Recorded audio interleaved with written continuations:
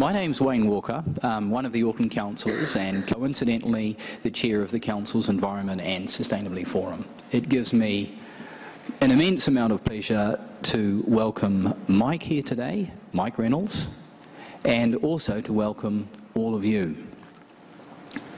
What Mike is going to present, I think, is incredibly important for the space and time that we're in right now. The Council's working through its unitary plan, it's working through a bundle of other things, and if we can't build a 10-star Earthship, frankly, we've got problems. So we need to be able to do it, and we need to shift heaven and earth to make sure that we can.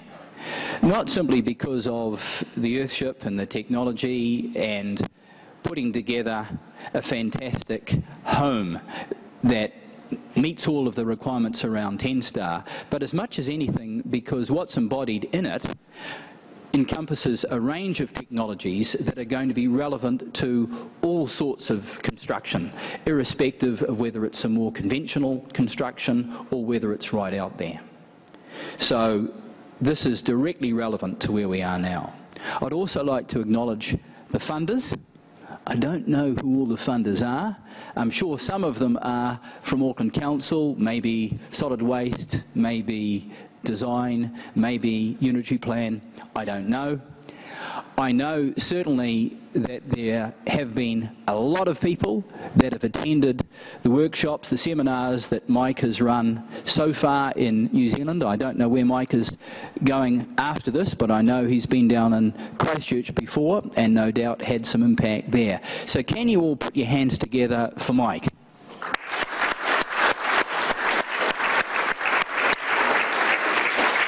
Thank you. Thank you. Thank you. Um, thanks for thanks for being interested in this. Uh, I'm going to show you briefly what we have come up with uh, from 40 years of work in sustainability and a lot of global travel. But more important than, than what we've come up with for this uh, meeting is how we were able to come about it and, and I think that's the issue that I see all over the world is that, you know, the solutions are out there. They're not even rocket science. It's how we get these solutions into our reality and through our dogma. And that has, that's a problem in every developed country. The third world countries don't have a problem with that. Um, but the developed countries do. We have encountered, or, or we have stumbled onto a few um, situations, let's say, that have made it so we could do this. And that's, that's what I'm really going to present to you today. Um, the thing that, the product, let's call it, is what we call the Global Model Earthship. It's a building that does everything for itself uh, without any infrastructure needs or nuclear power plant needs or uh, it, it, takes care of people. It provides sustenance for people without being hooked up to anything. It, we call it the Earthship. Uh, some people would rather not have that name. That's okay. We're talking about the concept of the thing. Um, but we have done them all over the world. This just shows uh, a few places around the world, noting that uh, that uh, the Netherlands and France and all over the US and Canada are on there, and many, many more. But the building is a, it's a form, what I call it is a formula building. It's a building, it has to be a formula building because it's providing electricity, it's providing water, it's containing and treating sewage on site, it's providing food, it's using byproducts of our society, i.e., garbage, uh, what we call garbage, and um, it is taking these things and putting them, it's, it's addressing all of these issues. Actually, these issues are, are six issues that, from traveling around the world, I'm seeing that every country and every city is dealing with water. They're dealing with contained sewage treatment, not in a very good way in most cases. Uh, food, uh, garbage, and we use what we call recycled materials on this planet for uh, uh, their, their natural resources uh, at this point. And then heating and cooling the buildings without fuels, and electricity. These six issues are, are what every city and country is having to deal with. We're trying to at least address them in one package, uh, sustainable building that provides sustenance for people without uh, needing any conventional utilities. Because the, the way people go about getting these, uh, dealing with these things is usually not really appropriate for the planet uh, or even appropriate for people for that matter. You know, case in point, uh, municipal water systems usually have fluoride and chlorine. It's not really that good for you. It's really bad for you, in fact. Rainwater is okay and better than okay, and these buildings harvest rainwater. Uh, and on every level, these buildings deal with things on their own. Just the basic configuration of the building is very simple. Uh, it's, a, it's a structural uh, component that uses automobile tires rammed with earth uh, as a thermal mass unit. It's not necessary that you use that. You can use concrete. You can use any form of thermal mass. But we use that because we're trying to address all of these issues, and uh, garbage that is thrown away on this planet is one of these issues. Uh, briefly, the, the building uh, harvests sun, and it's get, it gets stored in uh, the thermal mass walls that, uh, because of the aspect of physics, that heat goes to the cooler place. These cooler mass walls, tire wall with thermal storage, uh, more compacted earth behind it, um, the buildings absorb energy and store it. Thermal mass stores energy.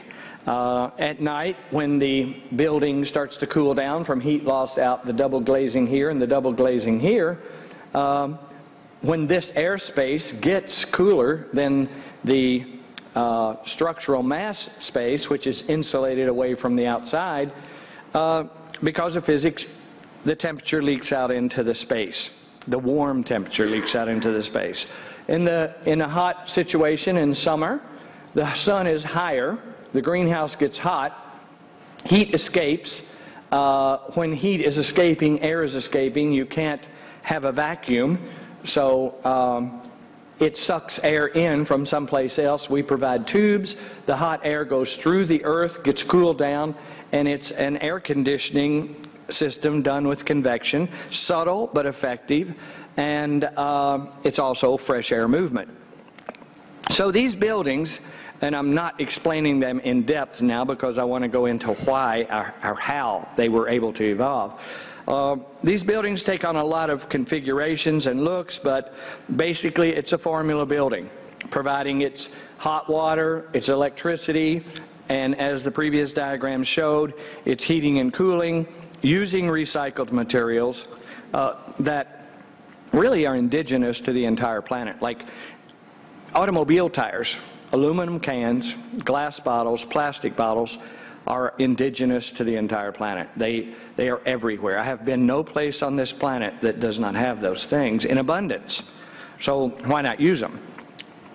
So there's, a, there's basically a lecture into every one of these issues, but this is just giving you a quick overview of what we have come up with. I'm really going to talk about how.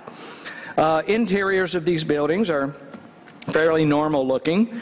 Uh, this is showing you this buffer zone greenhouse that where all the heat comes in, and it does require you to orient your building a certain way. This is illustrating the food production, which is also gray water treatment. Everything is meshed together like your body systems. Your body is a sack of water. It's, it's really, that's all it is, with some systems. Uh, the systems are all interrelated and work together. Your body looks the way it does because of the systems that make it up. These buildings are the same way. They are a machine that, that because of its function, it causes it to look a certain way. Uh, in severe climates, we even add a third uh, glass face, which makes a second greenhouse. And these buildings, because they provide everything for themselves, uh, if you're going to do a village or a small town or even a city, You don't have to put in infrastructure. Every city I have been into, uh, and I'm traveling the world constantly, um, they're, you know, they're worried about their future in terms of where are we going to continue to get water? How are we going to continue to treat sewage? Uh, where are we going to continue to get power? So there, everybody knows there are alternatives needed. What we see is there are barriers to bring those alternatives to the forefront, and that's what I'm here to talk about today. Uh, this series of pictures is showing this same type of building put together in a village situation. This is endless, if you want it to be. Can go all the way up hills and all the way down, and as long as you want. That's why there's bicycle lanes on the, on the Blackwater treatment areas. But to start a village like this, you don't need multi-billion dollar uh, infrastructure of power, water, and sewage. Every building is independently doing everything for itself. So it opens all kinds of doors for uh, future development, and it's the direction we have to go. The question is, how do we let ourselves do it? Uh, so this is uh, the endless version of this concept. Now, just to give you a little bit of perspective, we have done it all over the world, individual buildings, but this is Brighton, England, and we did a compound of these that got approved by council, believe it or not. And here they are. Um, they actually got financing and got started excavation. Uh, and then dinosaur bones were discovered right here, and it put the whole project on hold. Who'd have thought? Uh, but the buildings um, are constantly being built. They're, they're, they're uh, biospheres, really, mini biospheres. They, they basically make it so you don't need anything else. Uh, this, people always ask us, okay, how do you do these on a multi-level basis in an urban area? This is our answer to that. This was for a college campus in China. Um, everybody all contractors in all cities know how to build a parking garage, uh, beefed up for earthquake if, if it needs to be. And so you build a parking garage, but we call it a land assemblage. So that we're basically building land. This can be three stories like this or 20 stories. The plans for these global model earthships, we call them, are then inserted into this as many levels as you want and they build out the same as they do out in a rural area. Uh, so you're building buildings on a land assemblage, and that's how you can get multi-story applications of this. Again, each one of these three buildings on these three levels is absolutely independent. It makes all of its own power, water, contains all of its own sewage, grows food, uses recycled materials, uh, it's just a way of implementing this on a more urban level uh, to answer the question, uh, how do you do this in an urban situation? Um, there are various floor plans. They come in any sizes. Uh, studio versions, three bedroom, two bath versions. Um, they are simply a formula home. Uh, the interiors can look quite normal. This is a recent build that's not quite done. Maybe it is done by now in Montana. Um, Island in BC, British Columbia. Uh, these buildings simply work anywhere because they both cool and heat themselves. Anywhere there's sun, anywhere there's rain, anywhere there's garbage, uh, anywhere there's people, these buildings will work. So question is, how were we able, Scotland, uh, trying to make it look a more like the stone castles in Scotland, France, Holland, and another important factor is this is, the, this is a graph of the coldest temperature we get in New Mexico. This is a performance graph of these buildings, not done by us, done by a professor in uh, Adelaide in Australia. Uh, the, the temperatures are uh, in Fahrenheit on the right, Celsius on the left. So it gets severely cold where this was tested in the winter and quite hot in the summer. This is outdoor temperature, this is outdoor temperature, winter and summer. This is the temperatures in the house, winter and summer, blue being winter, orange being summer. Almost a straight line with no fuel, no backup, no, what, no fuel whatsoever. Uh, this is because of the thermal mass. This is because, really, this is because we were able to play with this for 40 years. Uh, and that's, that's the point of today's discussion, is why, why and how we were able to play with this for 40 years. This is another graph by the same guy doing every kind of method of building he could find. And he just did it to see what would happen.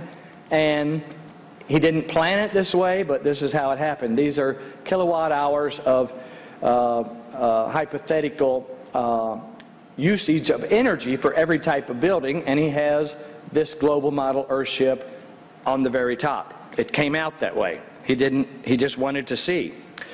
We've taken that also because in our travels around the world, we've realized that everybody can't afford a conventional mortgage. Uh, there are 80% of the people on the planet can't even think about that and we're usually only addressing the 20% uh, of the people on the planet in the developed world. When you travel the world, you see 80% of the people are not in the developed world, and they need to be accommodated too. So we have what we call a simple survival version of this.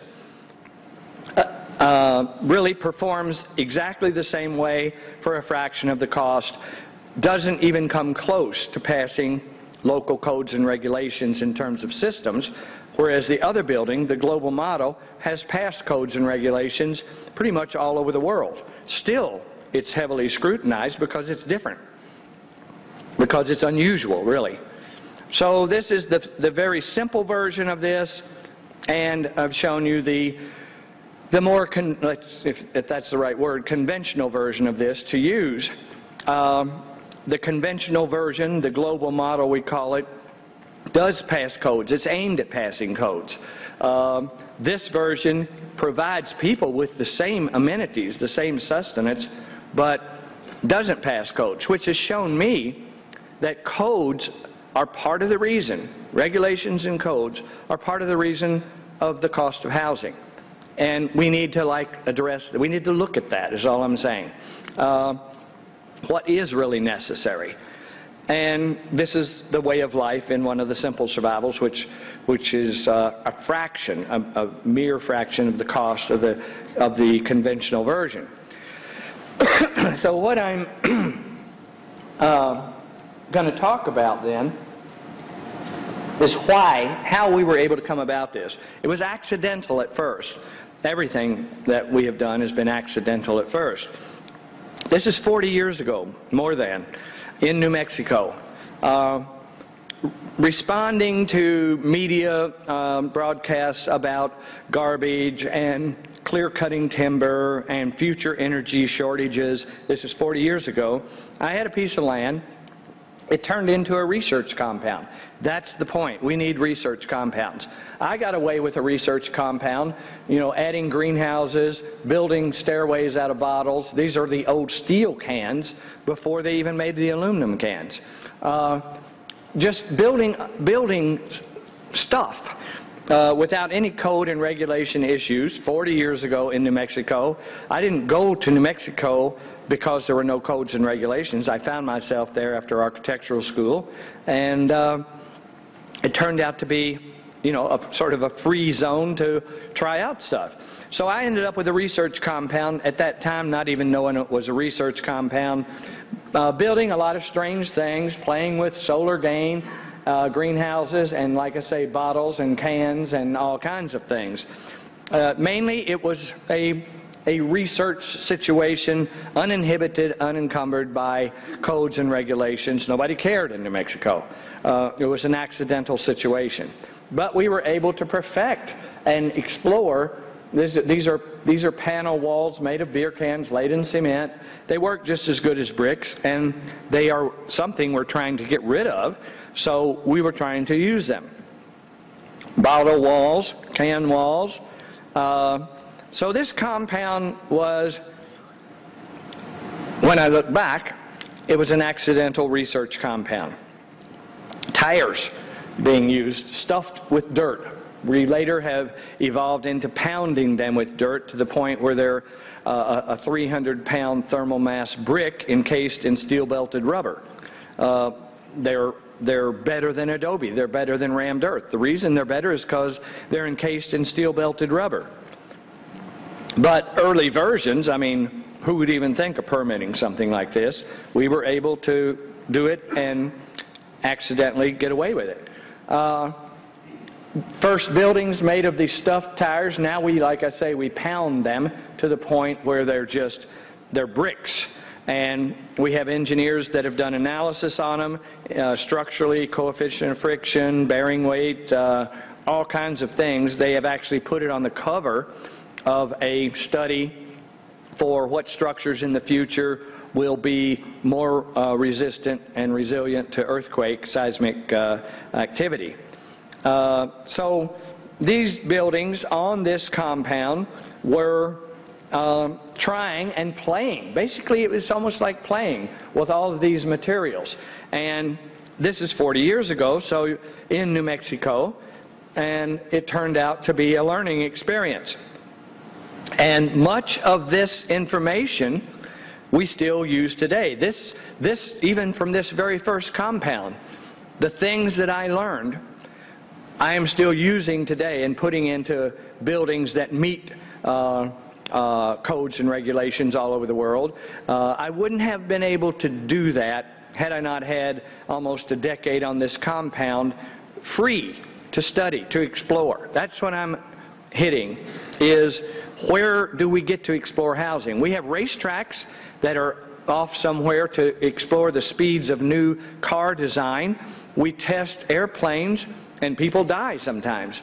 Uh, we certainly test drugs, and you, you can certainly, you know, on television they tell you about the drugs going to cause your eyes to bleed and everything else, but, you know, it's going to it's going to take care of this for you. We're testing drugs on humans as we speak. So we test all these other things. I'm saying, where is the place that we can test methods of sustainable living? Where is it? It doesn't exist. That's why we're still living the same way. So Compound 2, again, an accident. The only reason I left Compound 1 is because New Mexico was growing up around me, and it was getting a little weird there, you know, uh, for these buildings. And I didn't, I didn't, you know, I didn't want to blow my cover or anything like that. So I went out further into the desert and did research Compound 2. This is 30 years ago. Uh, so these are buildings that, uh, sketches for a building that harvest wind and, and do photovoltaics and, uh, you know, playing with vertical axis windmills and, and beer cans and tires and learning what I, taking what I learned in compound one and taking it further. And yes, I had to go out further into the desert to take it further, uh, you know, and I, I have kept doing that really.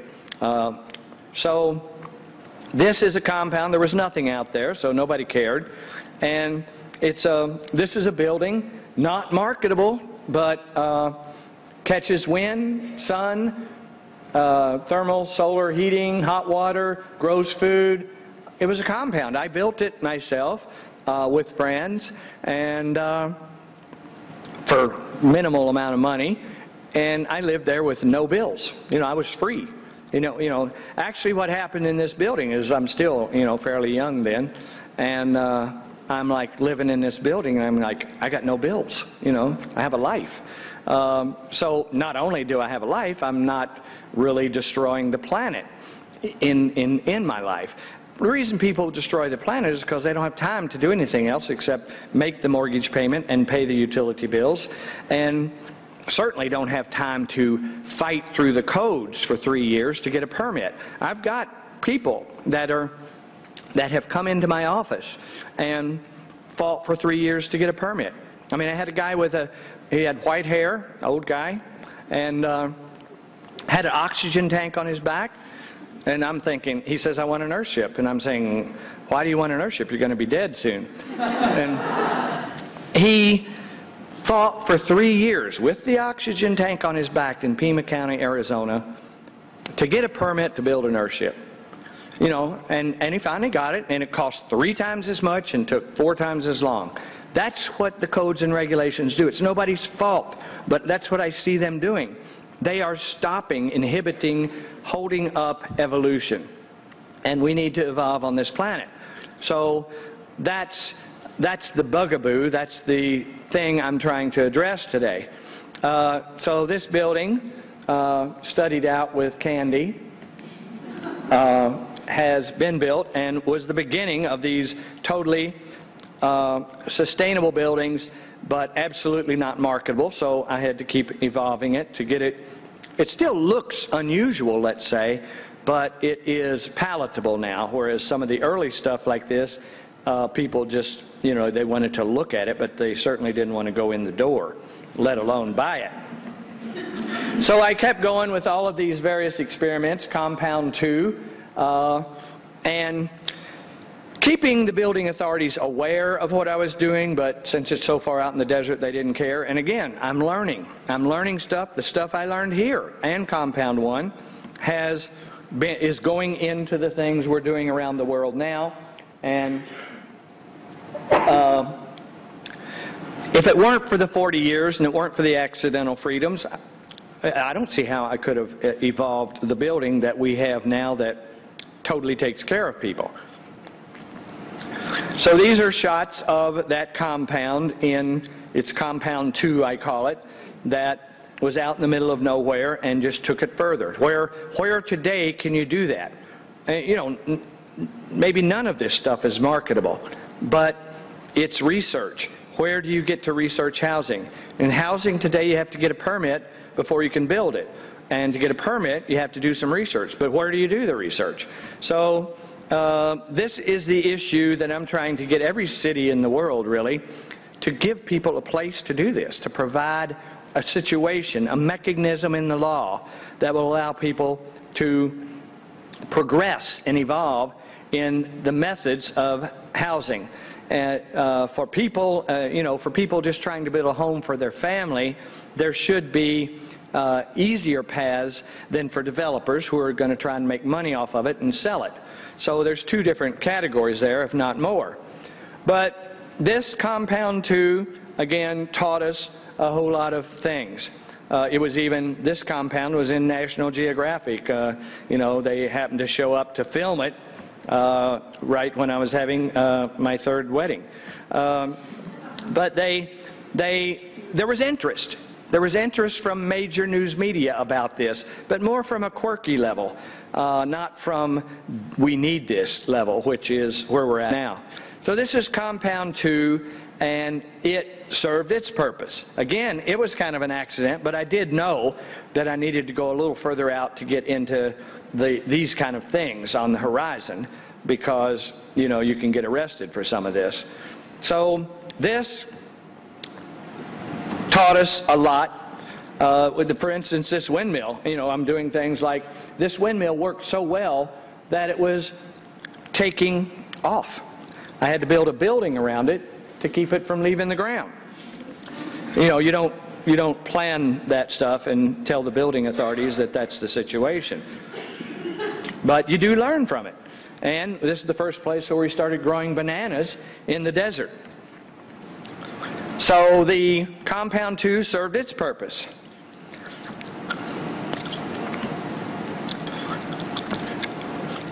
But it was strange looking on the horizon.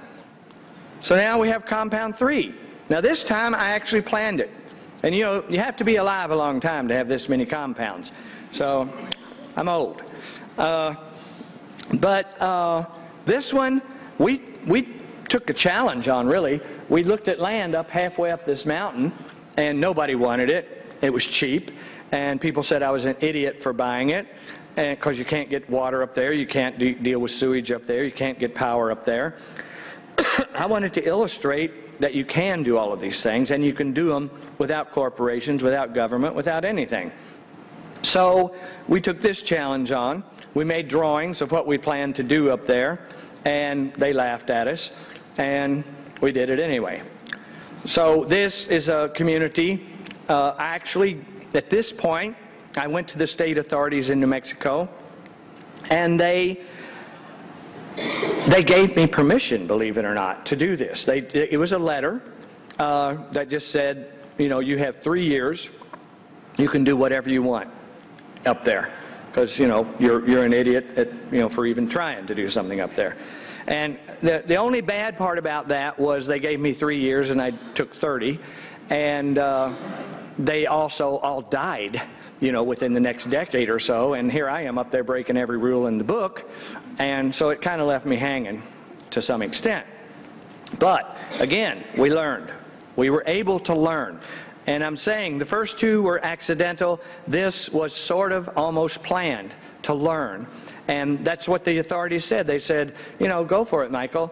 Uh, somebody's got to do it. You know, I obviously wasn't trying to make money because nobody wants to buy any of this stuff at this point.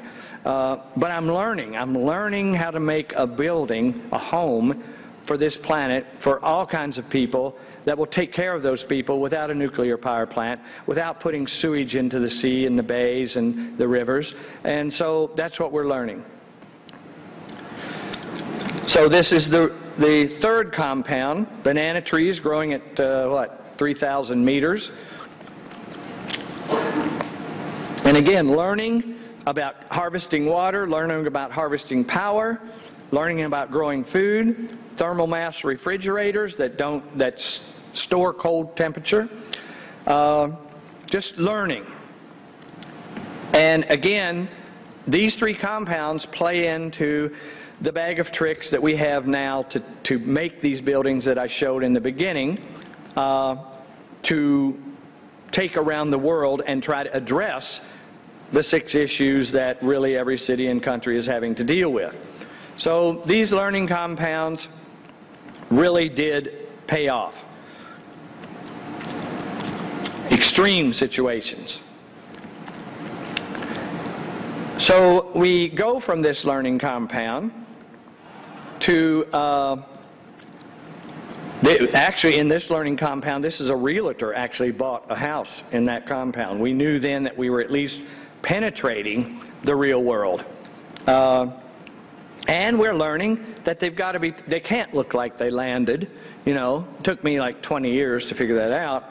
But they can't look like they landed. They have to start looking like what people are used to. And then you'll get more people interested, wanting to do it. People don't want to change from the way things look, even though it may save their life. So then I take it further. This is a community on 650 acres in New Mexico that we buy, and I fight for 10 years. I, like I say, you have to be old to have done, done this. I fight for 10 years to get them to approve a subdivision of land a development with no utilities. You know, you can imagine that fight. It's like an ant trying to lift a school bus. Uh, you know, I'm, I'm telling these people, the authorities in New Mexico, I want to do a whole development, 130 homes. I don't want to provide them water. I don't want to provide them power. I don't want to provide sewage. You know, I don't even want to provide roads. So I fought for 10 years. I won the ability to do that. But, you know, it cost lots of almost being in jail and lots of things like that. And we got a community approved, a subdivision approved that, that I had to present these buildings that I was able to learn how to do because of all these research compounds. When they said, how are you going to provide water for the people? I said, I'm already doing it all over the world. How are you going to provide power for the people? I'm already doing it. Each home in a decentralized way provides everything for everybody. And they finally said, you know, this is logical. Let's, let's, let's let this guy do this. So um, these are just the, the way the land is divided up in this community. I always like this because the lots are not touching each other. They're round. So half of the land is still for the animals and the plants and the bugs and the reptiles that used to live there. And this is just illustration of that. The animals still live there we're not blocking them out. Like a, in this community, a herd of 60 elk walk through it, you know, two or three times a month, like they own it, which they do. So these are buildings in the research community that is now legitimized and legal, 10 years of fighting for it. So that proves something. That proves if you've got 10 years to invest, then you can get something approved. Who has 10 years to invest these days um, you know, the world could be unlivable in 10 years. We need change faster. We need evolution faster. And that's what, again, I'm talking about. Uh, these are various buildings in this and, parts of development in this community. Uh, this was an old gravel pit in the 650 acres that we reclaimed and, and started filling it full of these kind of buildings. I mean, there's so much more depth to all of these uh, research situations. But this one was actually legitimized, fought for, and still, still not enough. You know, by not enough, I mean, am I going to go out there and tell the rest of the world, okay, if you fight for 10 years, you can do a sustainable development? Who's going to do that? You know, no, nobody's going to even think about that. So it, it was good, but it was bad. So at this point, then, I'm seeing, I'm starting to see what I'm talking to you about now. I went to the New Mexico legislature and I said, New Mexico is the state that blew 10,000 acres to smithereens and contaminated it for 200,000 years to test the atomic bomb so that we could bomb Hiroshima and uh, Nagasaki. I was born on Nagasaki Day, by the way. Uh, if we can blow 10,000 acres to smithereens for testing a weapon of nuclear mass destruction, why can't we take a few acres here in New Mexico, guys, and test sustainable housing in the interest of international security? Because we're getting kind of insecure here on this planet. And they laughed me out of the, the, the legislative house the first year. And they started, you know, after I turned a few desks upside down on top of the legislators, the second and third years, they started taking me a little more seriously. And finally, the fourth year, they passed it just to get me out of there. But we have an act. An act, uh, and they, they helped with the language. They also helped water it down. But it's relating to the conservation of natural resources enacting the Sustainable Development Testing Site Act providing for the approval of areas to be used for non-industrial research and testing designed to reduce the consumption of and dependence on natural resources by residential development.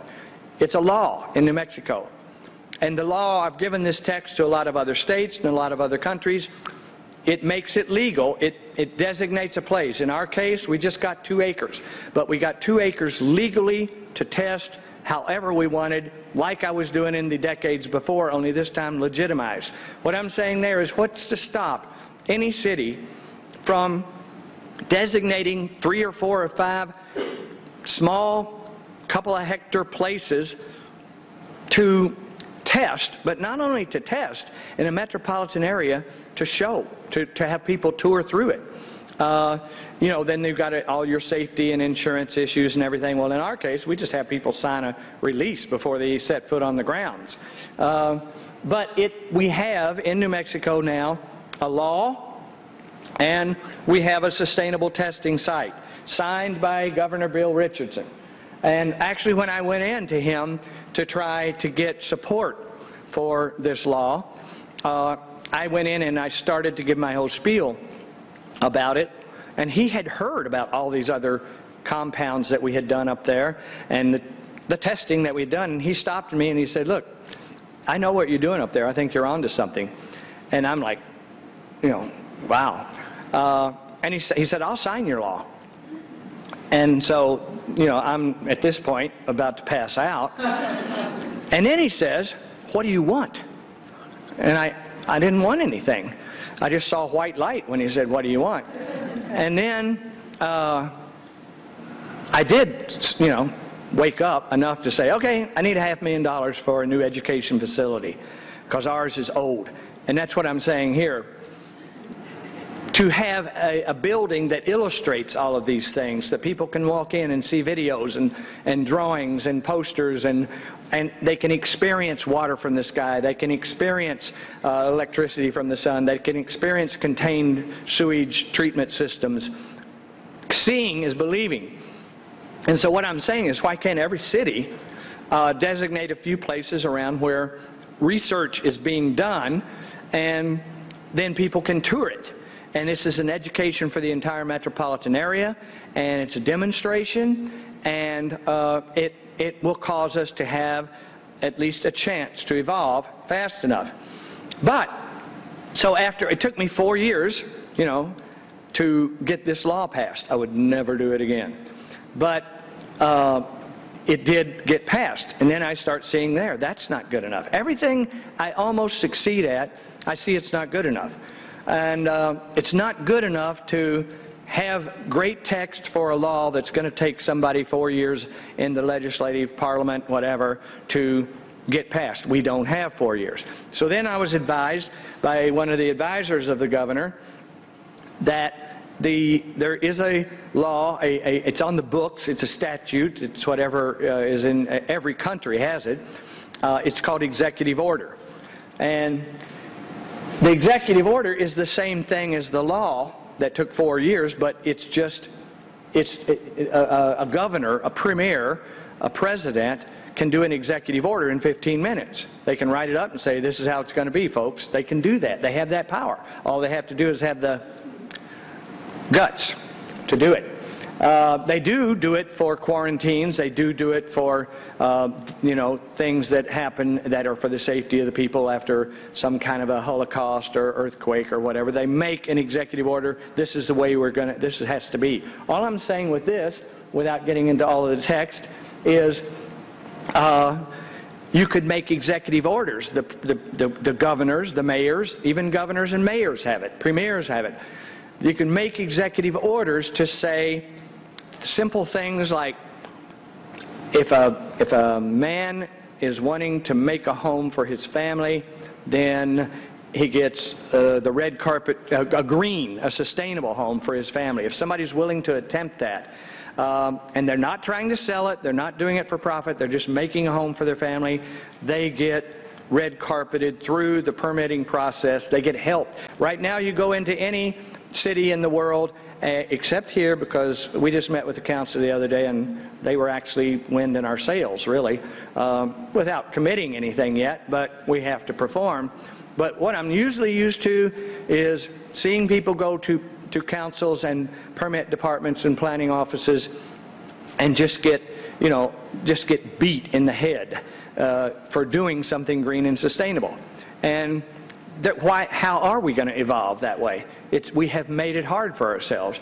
All I'm saying with these executive orders, and they work, they're, they're legal, is make it easy for, for humans to exist on this planet. Uh, so that's, that's like what we have gone into from accidental uh, accidental research compounds all the way to legitimized communities to laws being passed to recognizing that there's not time for laws to be passed anymore and to make executive orders toward green, sustainable development, appropriate technology on, on how buildings are built and how people live on this planet. An executive order is really simple. It just, it's whereas, whereas, whereas, and you talk about all the things that are not right, and you say it is ordered, and they can do it on two pages. And Bush, I went through the uh, the the webs uh, the Googled all these executive orders, and every president, every premier, they've all done it for all kinds of Mickey Mouse things. I mean, George Bush did about a hundred of them, you know, for little things like making his ranches better and and getting oil uh, rights and whatever. But they have the power to do this for green and sustainable development. It's available to us. Uh, we're asking to, we're trying to point out to legislative bodies that you can make it easier for the people to take care of themselves in a green and sustainable way. And that's, that's where we are now. So we, we have one more step in this. The sustainable testing site law that we got passed, we spent, believe it or not, another two years getting it through our county because they didn't know what to do with it, even though the state mandated it. They had to like vote and think and, and everything on how to, to manifest it, and they did. And so now in our 650 acre experimental community, we have little two acres down here where literally we can do anything we want unless it's build a nuclear power plant. We can build anything we want. We can use any kind of electricity, any kind of sewage, any kind of water, uh, unless we're trying to pollute the water tables or something like that. But very minimal. We're loose on the streets, so to speak, there. We, they pared it down from 20 acres to two, but now other people can do this in New Mexico. Colorado is interested in it. Lots of other states are interested in it and countries. The law is written. I have the text of the law. If anybody wants it, I have a PDF file of the law, uh, you know, like 10 pages of uh, the things that the legislators pointed out to just cover themselves. Uh, but it is a law and it does work. So this is the two acres that we were able to deal with. What it turns out is that we have a road, we, the green buildings are already existing. They're becoming a part of this research. The new buildings are being built. We're connecting them all with an Amazon jungle rainforest greenhouse, which we've already done and illustrated to them with you can fish for fish in these things. You, the birds are flying around. Uh, bananas are growing. Strawberries are growing. Frogs are on the trees. I mean, it's in the desert, but it's, it's making an oasis in the desert on two acres, and it's for 25 people to live there, and it's underway. It's happening. And it only took, what, uh, 40 years of research and lawmaking and everything like that to make this happen. I'm saying that it should be easier, and I'm actually pointing out legitimate ways for, with laws and executive orders to make it easier uh, so that people can do this all over the world. And this is uh, this community that we call uh, EVE, Earthship Village Ecologies. And yeah, lots of people might do it different, but it's really aimed at using products that we throw away in this world. So we, we use aluminum cans, you know, all over the place because they're great bricks. They don't wear out. We use glass bottles for, uh, for stained glass effects. This is the sign. We have a warning sign. This is an official USA sustainable testing site, you know, and it's legal. So that it's for a, it's a compound for 25 people, legitimized, where where research can take place for 10 years, and it will be housing people in a very very economical way and letting everybody participate in their own sustenance and, uh, and yes, other people might do this in a lot more conservative way. They might even not even use garbage, if that's what you want to call it. I use it because it's in abundance everywhere. And actually, if somebody paid me $30 million to invent the best building material I could, I'd invent tires and cans and bottles because they're, they're great. Uh, and we have a school now, an academy has emerged from all of this. And it teaches people all of these things uh, the concept, the physics, the techniques, and the law so that this can be taken out there into the world. This is under construction, but this will be palm trees and banana trees. And it'll be, you know, we've done it. We have buildings that have this. Uh, fish ponds, birds flying around. This is in the desert of New Mexico. To get a permit for this, you know, is impossible but this is on the test site. And so this is really the, the, the issue is it's not, I haven't really shown you tooth and nail how these buildings work other than to say that they address these issues. Because the, the issue, prevailing issue, beyond the functionality and the biotech, the biology and the physics of these buildings is the mechanism to allow people to evolve. And that's basically what we're trying to point out here. Uh, we were, were able to develop this vertical axis windmill, uh, quiet and produces power, and simple enough that you can make in your own town. Uh, this technology has made its way to Manhattan. This is Midtown Manhattan. Uh, these are the vertical axis windmills and solar panels, and this is a global model Earthship. Um, and they need it in Midtown Manhattan. The council has twice given it the nod. We're trying to get the money together now. Uh, this is where it's evolving to. Uh, but in a place like New York that wouldn't have considered this 10 years ago, they're desperate now after that hurricane. They didn't have water, they didn't have power, they didn't have sewage, uh, they didn't have a life. They got really scared, and they're looking now. This situation brings in the sun, hits an 80-foot long by 15-foot tall mirror, and shoots it down into the global model Earthship. It's radical, but they're, they're ready to go radical in New York City. And one other thing, this, not only does this, this whole process, has it taught us methods of trying to make this available in the developed world, it has given us a lot of tricks and, and ammunition, let's say, to go all over the world. This is India after the tsunami, uh, Haiti after the earthquake, uh, Sierra Leone, where they're, they're in dire straits over there. And we're actually teaching the local people some of these simple techniques. And in this case, we started this school. We built two rooms of an eight-room school, and we taught them how to finish it, and they finished it. So it's at this point, it's becoming like a virus. But overall, through the whole thing, the thing that I see is the biggest barrier between the people of the world and and sustenance and appropriate technology and green living is the, the web of codes and regulations that we somehow just can't get out of. Thank you.